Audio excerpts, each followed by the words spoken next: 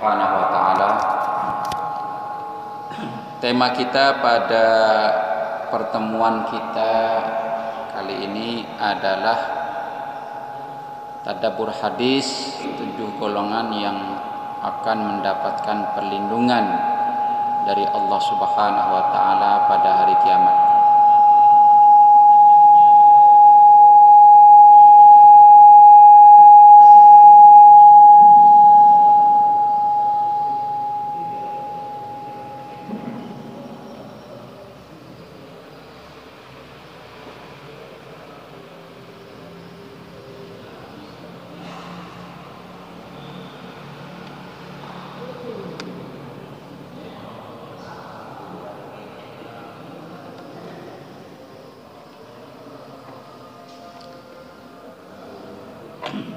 Bapak dan Ibu yang dimuliakan Allah Subhanahu wa taala, materi ini pernah saya sampaikan beberapa waktu yang lalu. Kali ini akan saya sampaikan kembali untuk mengingatkan kita semua tentang beberapa hal yang kita anggap penting. Wabil khusus kita pada pertemuan kali ini akan menjelaskan tentang masalah kepemimpinan.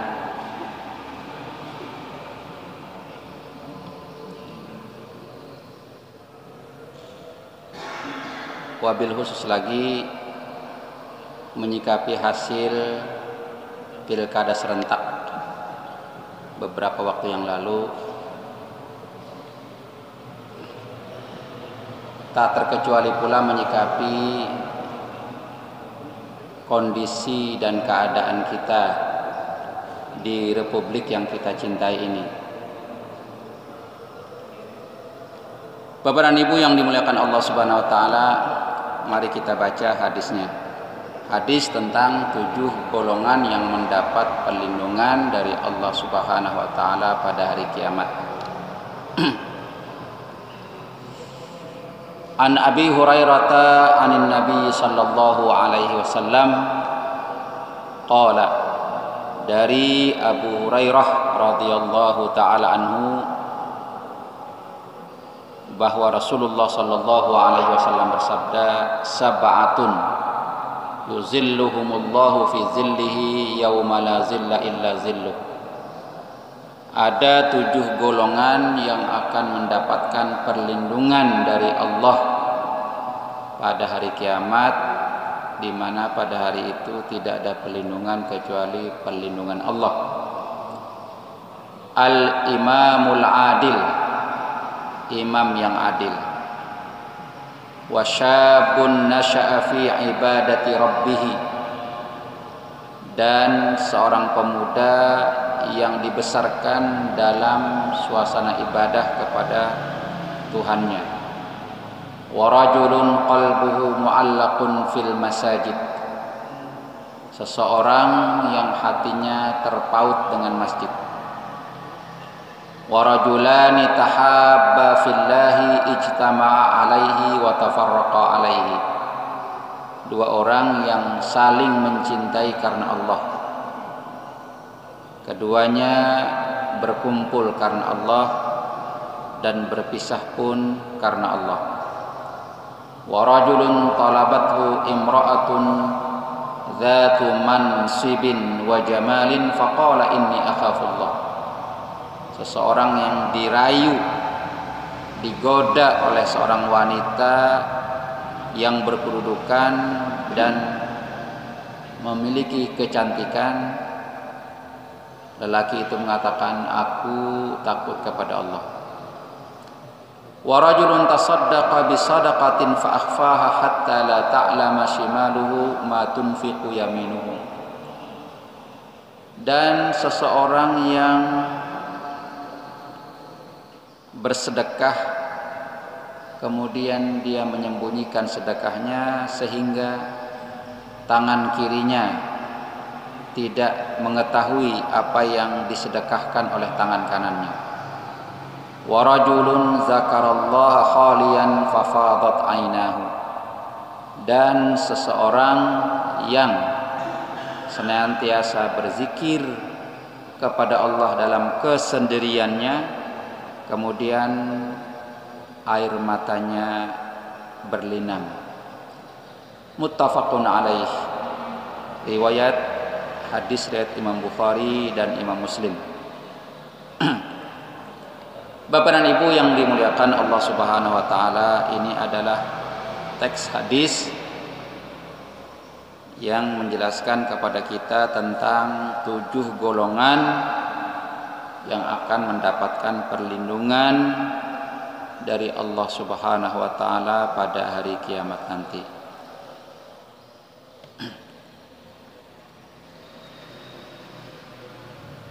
Mari kita lihat dan kita kaji bagian-bagian hadis ini. Yang pertama hadis ini diriwayatkan oleh Abu Hurairah. Abu Hurairah yang salah ketik. Abu Hurairah radhiyallahu taala anhu. Yang pertama nama Abu Hurairah kita sudah kerap ya, sudah biasa mendengar nama Abu Hurairah. Ya. Karena memang Abu Hurairah ini adalah salah seorang sahabat yang sangat banyak meriwayatkan hadis dari Rasulullah Sallallahu Alaihi Wasallam. Jadi kalau kita mendengar ceramah, ya, khutbah Jumat, sang penceramah atau sang khatib membawakan hadis dari Abu Hurairah radhiyallahu taala anhu. Dari Abu Hurairah radhiyallahu taala anhu atau membaca buku majalah ya. Ada hadisnya kemudian riwayat Abu Hurairah itu memang sangat bisa dimaklumi karena memang beliau sangat banyak meriwayatkan hadis dari Rasulullah sallallahu alaihi wasallam. Cuma Bapak Ibu tidak banyak kita yang tahu sebenarnya Abu Hurairah itu namanya siapa. Ya. Jadi Abu Hurairah. Ini dalam bahasa Arab namanya kunyah. Kalau laki-laki pakai abu kalau perempuan pakai ummu itu namanya kunyah. Kunyah itu apa? Ya kalau bahasa kita kunyah itu bisa panggilan ya, atau sebutan ya di panggilan atau sebutan yang kalau laki-laki pakai abu kalau perempuan pakai ummu abu itu kan abun itu bapak ya ummun itu ibu ya. Jadi kalau mungkin dalam bahasa keseharian kita Abu Hurairah atau Pak Abu Hurairah gitu ya, Pak gitu ya. Bapaknya. Ini namanya kunyah. Kunyah. Dan kunyah ini merupakan salah satu sunnah. Hatta para ulama mengatakan orang yang tidak punya anak sekalipun, bapak itu kan mesti kalau dipanggil bapak kan mesti ada anaknya Orang kalau nggak punya anak sekalipun boleh dia mempunyai kunyah ya. Abu siapa begitu ya atau perempuan nggak punya anak tapi ummu nggak apa-apa walaupun dia tidak punya anak. Rasulullah Shallallahu Alaihi Wasallam mempunyai anak salah satu anak beliau namanya Al Qasim Al Qasim kemudian beliau memberi kunyah atau mengkunyahi memberi kunyah untuk diri beliau dengan sebutan Abul Qasim. Abul Qasim Suatu saat Rasulullah Shallallahu Alaihi Wasallam menjenguk seorang pemuda yang beragama Yahudi. Pemuda ini sakit, sakit dijenguk oleh Rasulullah. Ini akhlak Nabi ya. Ini Yahudi. Kita tahu Yahudi ini orang yang sangat membenci Islam la tajidanna ashaddan nasi adawatan lil ladzina amanul yahud wal ladzina asyraku kamu akan menemukan manusia yang paling membenci Islam paling memusuhi Islam adalah Yahudi dan orang-orang musyrik. Ini ayat Quran. Namun walau demikian Rasulullah sallallahu alaihi wasallam adalah Rasulullah. Rasulullah sallallahu alaihi wasallam adalah Rasulullah yang menjadi uswah hasanah bagi kita semua. Dalam semua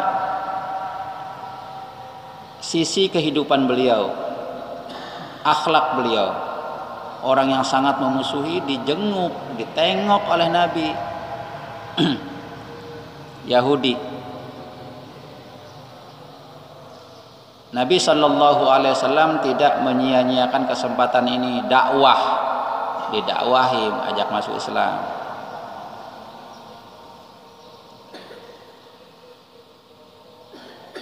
Si pemuda yang pada saat itu didampingi oleh ayahnya sang ayah mengatakan ati abal qasim. Ati abal qasim taatilah. Ikutilah Abul Qasim. Jadi kunyah Nabi siapa? Abul Qasim. Kata si bapak bapak ini dengar nih bapak nggak bapaknya nggak marah ya.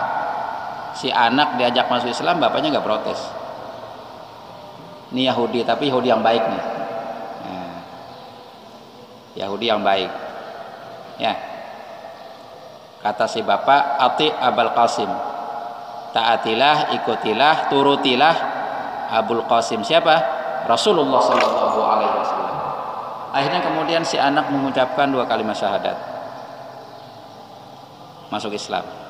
Nah jadi kita sini adalah tentang kunyah. Nah Abu Hurairah kunyah nih. Abu Bakar itu juga kunyah. Ya. Kita banyak yang tidak tahu siapa nama Abu Bakar? Itu kunyah.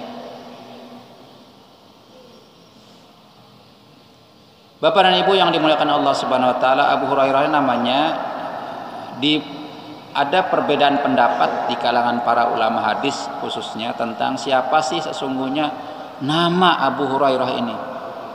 Nah, pendapat yang dikuatkan oleh banyak ulama nama beliau adalah Abdurrahman namanya Abdurrahman. Abdurrahman bin Sakhr Ad-Dausi. Daus ini nama kabilah di Yaman. Jadi orang Yaman. Ya.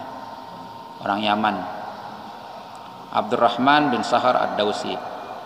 Abu Hurairah masuk Islam pada tahun ke-7 Hijriah. Di salah seorang sahabat Nabi yang masuk Islamnya belakangan Abu Hurairah masuk Islam tahun 7 Hijriah sementara Rasulullah Shallallahu alaihi wasallam wafat pada tahun tahun berapa, Pak? Ada yang masih lupa? Bukan masih ingat, masih lupa. Tahun berapa Nabi wafat? Tahun ke-11 Hijriah. 7, 8, 9, 10, 11 4 tahun. Nggak lama bergaul dengan Nabi. Bahkan ada sebuah riwayat yang menyebutkan bahwa Abu Hurairah ini bergaul dengan Nabi hanya sekitar tiga tahun saja.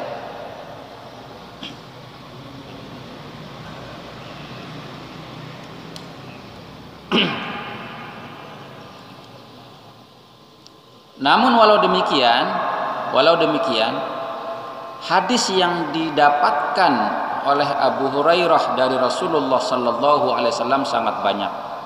Melebihi sahabat-sahabat lainnya yang lebih dahulu masuk Islam minas sabiqin al awwalin semacam Abu Bakar As-Siddiq ya.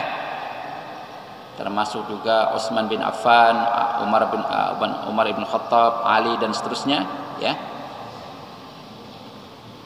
Para ulama mencatat tidak kurang dari 5374 hadis yang diriwayatkan oleh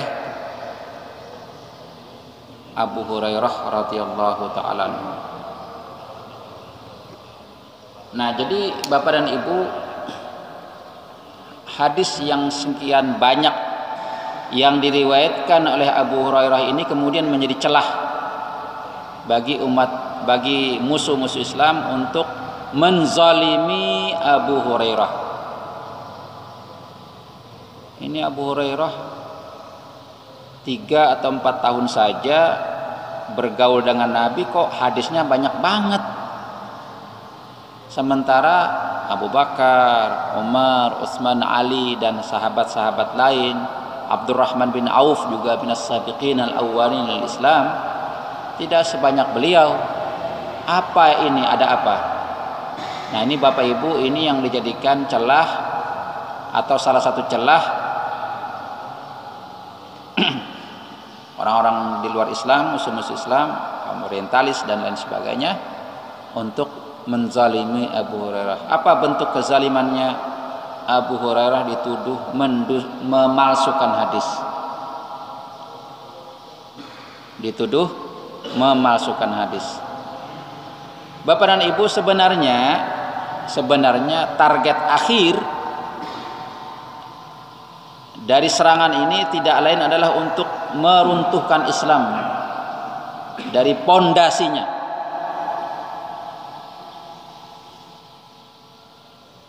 Ya. Ada sebuah ungkapan yang sangat terkenal di kalangan ulama hadis, ya. Berkenaan dengan riwayat yaitu apa? At-ta'nu fin naqil ta'nun fil mangkul. Tikaman terhadap perawi hadis adalah tikaman terhadap Islam. Orang yang menikam menghancurkan perawi hadis langsung atau tidak langsung dia telah menikam Islam Bayangkan kalau kredibilitas syaksiyah ya, kehormatan Abu Hurairah ini sudah dihancurkan itu artinya sama dengan kita menghilangkan seluruh hadis yang diriwayatkan dari Abu Hurairah. Kalau umpamanya para ulama hadis mencatat ada 5000 sekian hadis yang diriwayatkan oleh Abu Hurairah kemudian Abu Hurairah ini riwayatnya tidak kita terima artinya kita telah menolak 5000 sekian hadis dan hadis-hadis yang diriwayatkan Abu Hurairah sangat banyak menyangkut masalah-masalah akidah, masalah ibadah, akhlak dan seterusnya itu kita buang semuanya. Kenapa? Karena kita tidak lagi percaya kepada Abu Hurairah. Ini target akhirnya. Dan itu yang diinginkan oleh musuh-musuh Islam jadi intinya adalah supaya kita meninggalkan Islam itu saja. Karena kita sudah tidak percaya kepada orang yang meriwayatkan hadis. Nah, ini Bapak dan Ibu yang dimuliakan Allah Subhanahu wa taala. Para ulama kita memberikan jawaban kenapa sih Abu Hurairah yang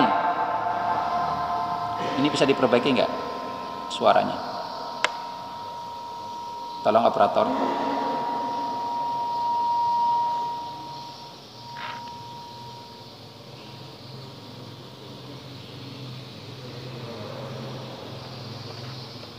Operator jangan jauh-jauh ya dok sini aja, buka sini.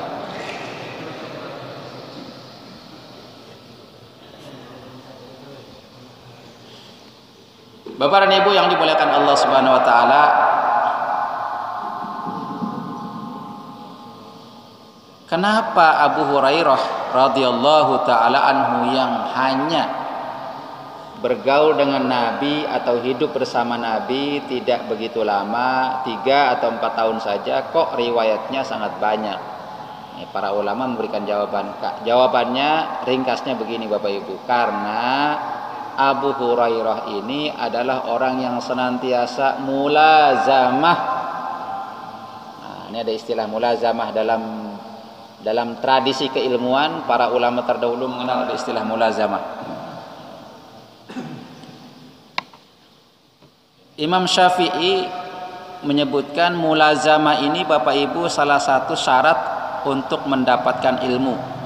Jadi kalau kita mau dapat ilmu, mau jadi orang berilmu harus mulazama. Mulazama sama siapa? Mulazama sama guru. Mulazamah guru ya. Mulazama itu senantiasa menyertai. ke mana pun guru pergi di mana guru berada di situ dia nempel ini mulazamah ini rahasianya Imam Syafi'i mengatakan akhilan tanalal ilma illa bisittatin saudaraku kamu tidak akan pernah dapat ilmu kecuali dengan enam perkara zakaun wa hirsun wa ijtihadun wa dirhamun wa suhbatu ustazin wa tulu zamanin di antaranya adalah mulazamah senantiasa menyertai guru Abu Hurairah senantiasa menyertai Rasulullah sallallahu alaihi wasallam. Beliau katakan kalau para sahabat lain sibuk di pasar, sibuk berbisnis, sibuk mencari rizki, sibuk berdagang, saya menyibukkan diri dengan talabul ilmi, menyertai Rasulullah sallallahu alaihi wasallam. Bapak dan Ibu yang dimuliakan Allah Subhanahu wa taala, baik ini tentang Abu Hurairah, ya. Kita masuk ke matan hadis.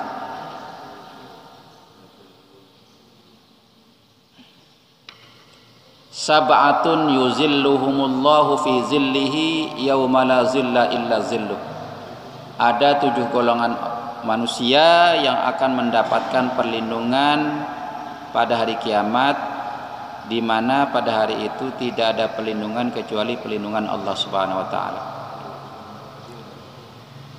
Hari yang sangat sangat apa?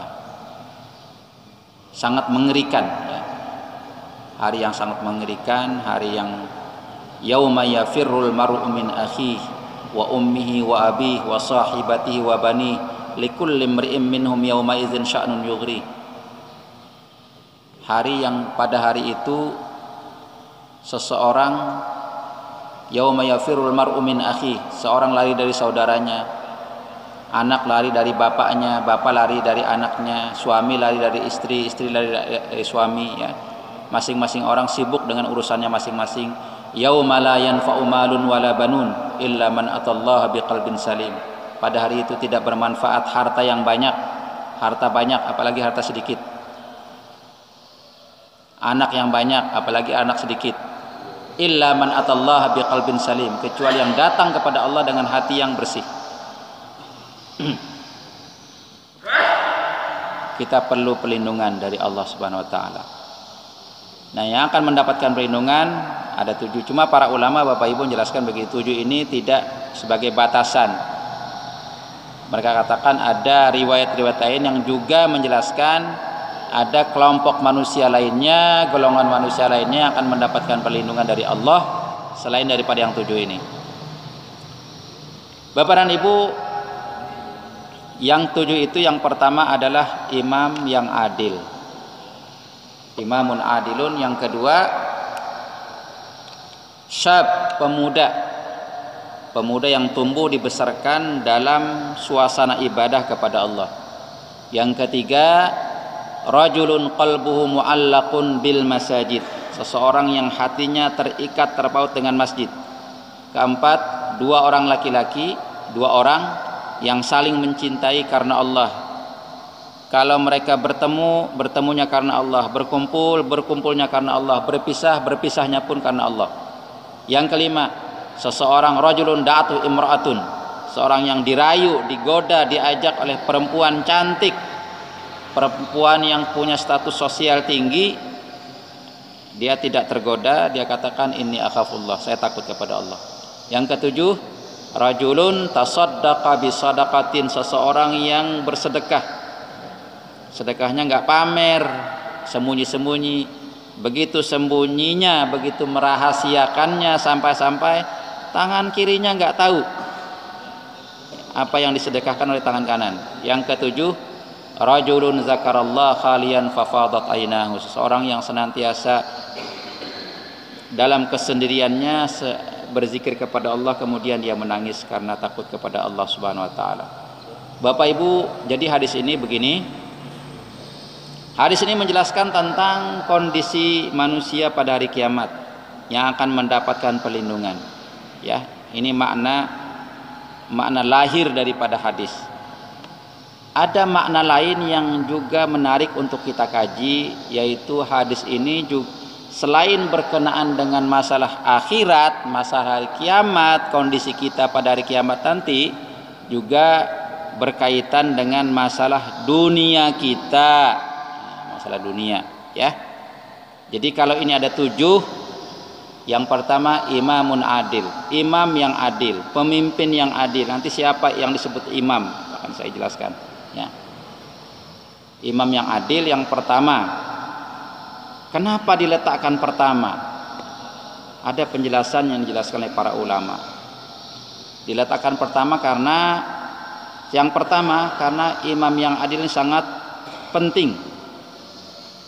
Ya. Pemimpin yang adil ini akan menentukan. Oleh karena itu sebagian ulama kita atau guru-guru kita mengatakan begini kita melihat ini ada tujuh bapak ibu semua ya Tujuh ini bisa kita lihat dari atas dan dari atas ke bawah atau dari bawah ke atas. Kalau dari atas kita lihat begini, kalau kita punya pemimpin yang adil, ya, pemimpin yang soleh, nomor satu, nanti kita akan dapat nomor dua, tiga, empat, lima, enam, tujuh. Ini rahasianya. Bisa difahami ya? Kita punya pemimpin nih, punya imam nih, pemimpin kita, imam kita adil, saleh, bertakwa, beriman bertakwa. Nanti kita akan mendapatkan anugerah dari Allah Subhanahu wa taala. Apa anugerahnya? Satu, anak-anak mudanya baik-baik. Ya. Pemudanya baik-baik nih. Bukan pemuda yang suka bikin kerusuhan, yang suka mengganggu, kebut-kebutan, ya. Balapan liar mabuk-mabukan narkoba pergaulan bebas dan lain-lain. Itu akan dijauhkan oleh Allah Subhanahu wa taala kalau pemimpin kita adil. Sebaliknya sebaliknya mari kita berkaca. Kalau pemimpin kita jahat pemimpin kita zalim pemimpin kita tidak saleh Allah akan murka kepada kita. Salah satu bentuk kemurkaannya Allah jadikan pemuda-pemuda kita rusak.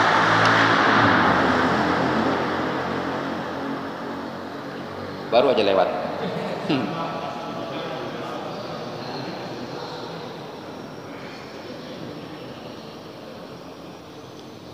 Jadi ini bisa jadi cerminan buat kita. Kalau kita mau pemuda yang baik yang soleh kudu cari pemimpin yang soleh. Pilih pemimpin yang soleh seperti apa? Ntar kita jelaskan. Ini ini makna duniawi nih ya. Kalau makna ukhrawinya tadi kita akan mendapatkan perlindungan dari Allah Subhanahu wa taala. Yang kedua kalau pemimpin kita saleh pemimpin kita adil kita akan mendapatkan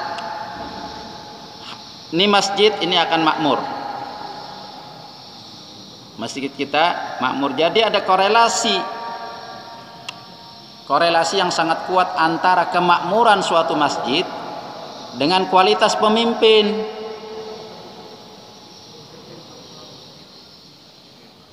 Kemakmuran suatu masjid berbanding lurus dengan kualitas pemimpin. Kalau pemimpin kita adil pemimpin kita saleh ini masjid makmur. Jamaahnya membludak sampai keluar. Semuanya di luar nggak ada yang masuk.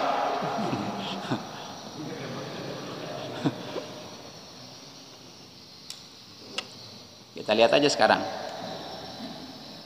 Ya mari kita lihat sekarang. Masjid musalla rumah-rumah Allah bagaimana keadaannya kita lihat pemimpin kita siapa jadi gampang ya ini patokan mati masjid ini patokan. Nah, masya Allah. Mana pajarannya?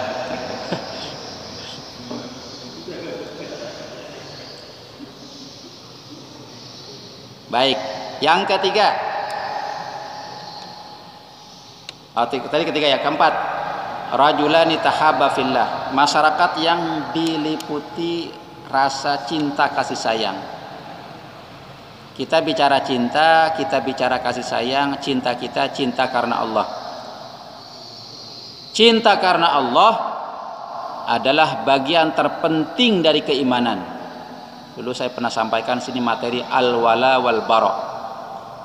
loyalitas dan anti loyalitas siapa yang mesti kita cintai dan siapa yang mesti kita musuhi.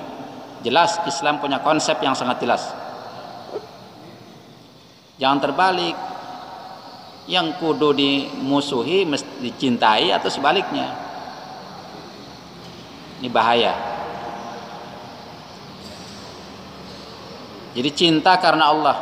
Tahabba fillah. Tahabba fillah. Rasa cinta kita karena Allah bukan karena yang lain bukan karena status sosial bukan karena harta bukan karena materi bukan karena dunia dan lain sebagainya tapi karena Allah Subhanahu wa taala ini cinta yang kita inginkan kalau cinta didasarkan kepada yang lain itu cinta yang palsu dan cinta itu tidak abadi.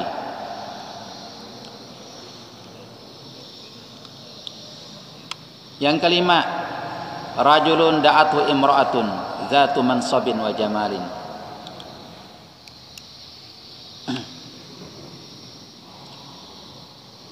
Ini gambaran tentang bersihnya suatu masyarakat. masyarakat yang bebas dari penyakit. Penyakit sosial. Prostitusi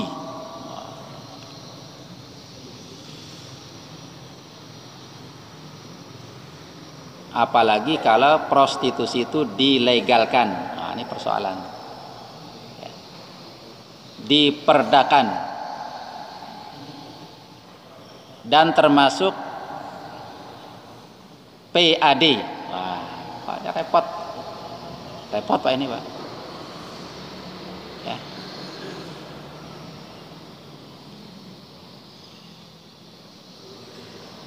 Jadi dalam bab ini, dalam bab ini kebersihan suatu masyarakat ya. Ini juga berbanding lurus dengan kualitas pemimpin. Kalau pemimpin kita saleh, masyarakat kita bersih dari penyakit ini. Sebaliknya kalau pemimpin kita rusak, pemimpin kita zalim,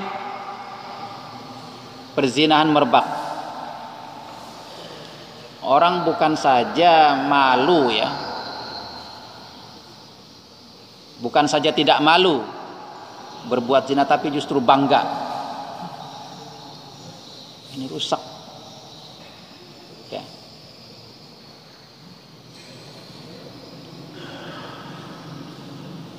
Kemudian yang berikutnya apa? Rajulun tasaddaqa bisadaqatin. Masyarakat yang suka bersedekah. Masyarakat yang dermawan, yang tidak kikir. Di dalam Al-Qur'an sedekah ini lawannya itu adalah riba. Ya.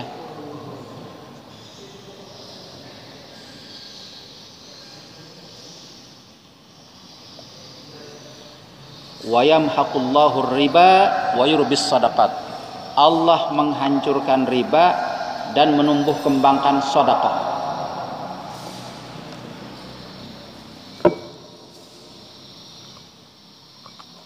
Jadi kalau kita lihat korelasi atau hubungan ya, antara kualitas seorang pemimpin ini krisis ekonomi ya. Dengan masa dengan krisis ekonomi itu sangat sangat erat, sangat kuat. Apabila mas apabila pemimpin kita adil, pemimpin kita soleh, pemimpin kita baik, maka krisis ekonomi ini ya atau wabil khusus riba ini tidak akan merebak di tengah-tengah masyarakat kita. Sebaliknya kalau mas pemimpin kita zalim, pemimpin kita rusak, riba memasyarakat. Riba menjamur dan seterusnya. Dan yang terakhir adalah rajulun zakarallah kalian yang senantiasa masyarakat yang senantiasa berzikir kepada Allah Subhanahu wa taala. Zikir dalam pengertian umum dan zikir dalam pengertian khusus. Dalam pengertian umum zikir adalah ibadah di zikir tidak difahami bahwa kita mesti sholat, sholat, sholat zikir, baca Al-Quran zikir, puasa dan seterusnya adalah zikir. Tidak itu saja, kita mencari rizki, rizki yang kita cari halal itu adalah zikir. Anda seorang pegawai, Anda bekerja jujur, Anda disiplin, Anda taat dengan peraturan yang ada adalah zikir. Ini zikir sebagai dalam pengertian khusus, dalam pengertian umum. Apa maknanya? Maknanya adalah kalau kita bekerja dan niat kita bekerja adalah lillahi taala karena Allah Subhanahu wa taala mencari rizki-rizki yang halal kita telah berzikir kepada Allah Subhanahu wa taala. Ini yang diinginkan oleh Islam. Bapak dan Ibu yang dimuliakan Allah Subhanahu wa taala itu kalau kita lihat dari atas. Nah, sekarang kita lihat dari bawah. Kalau kita lihat dari bawah begini, jadi tadi kalau kita punya pemimpin yang adil, kita akan punya 2, 3, 4, 5, 6, 7. Kita sekarang kita dari bawah. Kalau kita mau punya pemimpin yang adil, kita mulai dari 7, 6, 5, 4, 3, 2. Niscaya Allah Subhanahu wa taala akan berikan anugerah kepada kita. Apa anugerahnya? Imamun adil, pemimpin yang adil. Mari kita baca ayat. Walau anna ahlal qura amanu wattaqau la fatahna alaihim barakatim minas samai wal ardi walakin kadzabu fa akhadnahum bima kanu yaksibun. Kalau seandainya penduduk suatu negeri beriman dan bertakwa. Beriman dan bertakwa, salah satu bentuk keimanan ya 2 sampai 7. Kita hidupkan masjid, kita banyak bersedekah, berzikir dan seterusnya la fatahna alaihim barakat niscaya akan kami bukakan pintu-pintu keberkahan dari atas dan dari bawah dari langit dan dari bumi. Salah satu bentuk keberkahan yang Allah taala berikan kepada kita kaum muslimin adalah Allah angkat untuk kita pemimpin yang adil pemimpin yang soleh walakin kadzabu tetapi kalau kalian mendustakan jauh dari agama jauh dari ulama, jauh dari majlis taklim, jauh dari ilmu. Fa akhadnahum bima kanu yaksibun akan kami siksa kalian. Kami turunkan bala, kami turunkan azab. Apa balanya? Balanya adalah salah satunya pemimpin yang zalim. Bapak dan Ibu yang dimuliakan Allah Subhanahu wa taala, tampaknya belakang sudah siap. Nanti kita lanjutkan lagi Eh, pada pertemuan yang akan datang kita kita ulas satu persatu. Subhanakallahumma bihamdika asyhadu an la ilaha illa anta astaghfiruka wa atubu ilaik. Wassalamualaikum warahmatullahi wabarakatuh.